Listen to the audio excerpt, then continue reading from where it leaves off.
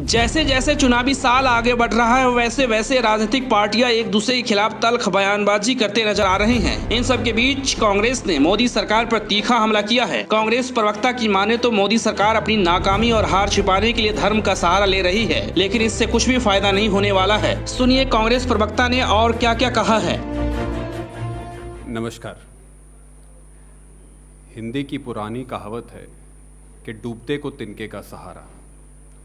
भाजपा ने आज से फिर से एक बार अपनी पुरानी और बासी रणनीति का प्रयोग किया है कि जनता के गुस्से, जिस प्रकार जनता ने सरकार के खिलाफ मोर्चा खोल दिया है, जवाबदेही और ज़िम्मेदारी से मुँह फेरा जाए, उससे बचने के लिए फिर से आज एक बार धर्म का सहारा और दुष्प्रचार का सहारा लेकर इस देश की जनता को गुमराह करने का प्रयत्न किया है। भाजपा को एहसास हो जाना चाहिए कि अब जनता उनकी जुमलों वाली राजनीति में विश्वास नहीं करती, उनके दुष्प्रचार में विश्वास नहीं करती। अब जनता जान गई है, झूठ के पाँव नहीं होते और सत्य तथ्यों पर टिका हुआ है। आज उत्साह में भाजपा के प्रवक्ताओं ने अपने ही पैर पे कुल्हाड़ी मार ली है। श्री राहुल गांधी पे वार करने करने के चक्कर में अपने आप को बेनकाब कर दिया है। अब कैसे? भाजपा विकी लीक्स के आधार पे श्री राहुल गांधी पे प्रश्न उठाने से पहले जो माननीय वित्त मंत्री श्री अरुण जेटली ने विकी लीक्स को 2005 में खुलासा किया था कि भाजपा धर्म का सिर्फ़ वोट बटोरने के लिए प्रयोग करती है, इंग्लिश में कहा कि Hindu nationalism is a classic opportunity and a tool for opportunism Shri Arun Jaitley ने कहा कि श्री नरेंद्र मोदी एक पोलराइजिंग पर्सनैलिटी हैं, पहले उस पर उत्तर दें। अगर भाजपा विकी लीक्स को आधार बना के श्री राहुल गांधी से प्रश्न पूछना चाहती है, पहले अपने ही मंत्री श्री अरुण जेटली पे जवाब दें, सफ़ाई दें। जैसा कि उन्हें एक केबल दिखाई आप सभी लोगों को, उससे पहले की एक केबल हमारे पास है 2005 की। केबल नंबर तीन दो दो सात नौ embassy New Delhi classified by charge Robert O Blake for reasons number so and so meeting with Shri Arun Jaitley आपके सबके लिए पढ़ भी देता हूँ।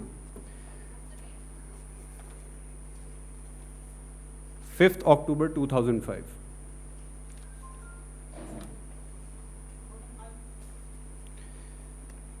Jaitley argued that Hindu nationalism will always be a talking point for the BJP. He characterized this as an opportunistic issue कि हिंदू राष्ट्रवाद भाजपा के लिए एक मौका परस्ती का विषय है in India's north east for instance Hindutva plays well because of public anxiety about illegal migration of Muslims from Bangladesh. With the recent improvement of Indo-Pak relations, he added, Hindu nationalism is now less resonant in New Delhi, but that could change with another cross-border terrorist attack, for instance, on the Indian Parliament. Shri माननीय श्री अरुण जेटली और कहते हैं Jaitley agreed with charge's point that Modi was a polarising personality तो श्री अरुण जेटली जी ने Vicky leaks में 2005 में ये माना कि भाजपा धर्म को केवल एक राजनीतिक छड़ी बना के उसका दुरुपयोग करती है। भाजपा के लिए हिंदू राष्ट्रवाद सिर्फ़ एक वोट बटोरने का तरीका है। और तीसरा, इस देश के प्रधानमंत्री श्री नरेंद्र मोदी, उन्होंने अमरीकियों के सामने ये स्वीकार किया कि उनकी एक पोलराइजिंग पर्सनैलिटी है। तो भाजपा के प्रवक्ता श्री राहुल गांधी से प्रश्न पूछने से पहले श्री अरुण जेटली ने जो विकी लीक्स पे खुलासा किया है, उस पर पहले जवाब दें और फिर कांग्रेस की तरफ़ उंगली उठाएँ। पर यह सब क्यों हो रहा है? जब जब देश किसी समस्या से गुजरता है जनता के प्रश्न बढ़ने शुरू हो जाते हैं और मोदी जी को मुँह छुपाना पड़ता है तो वो श्री राहुल गांधी पे सवाल खड़े कर देते हैं।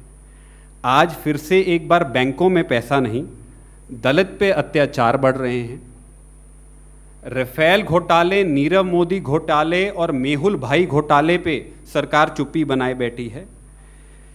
जय शाह और पीयूष गोयल की संपत्ति में सोलह हज़ार प्रतिशत और तीन हज़ार प्रतिशत की वृद्धि हो गई है।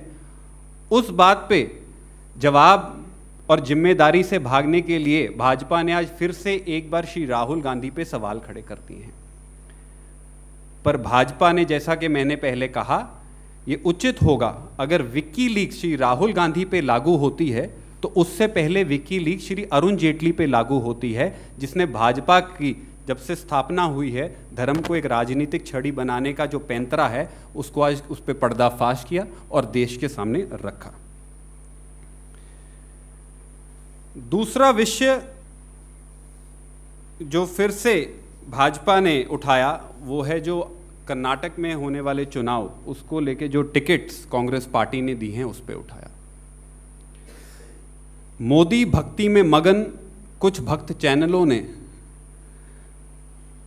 इस खबर को बहुत हवा दी और बढ़ा चला के चलाया कि भारतीय राष्ट्रीय कांग्रेस ने मेहुल चौकसी के वकील को टिकट दे दी और ये आप इसी बात पे एक कोई गुनाह कर दिया।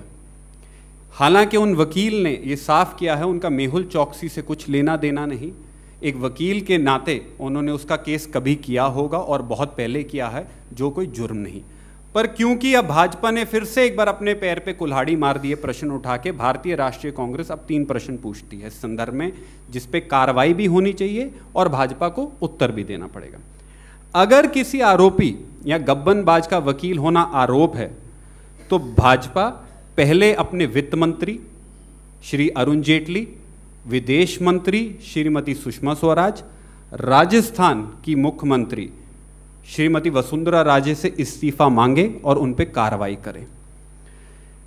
क्या यह सच नहीं? जब छोटा मोदी नंबर दो, नीरव मोदी और माननीय प्रधानमंत्री के भाई, मेहुल भाई, इस देश को लूट रहे थे, इस देश से भागने की तैयारी कर रहे थे और जब इस देश से भाग गए, तब श्री अरुण जेटली की बेटी, नीरव मोदी की कंपनियों की वकील थी।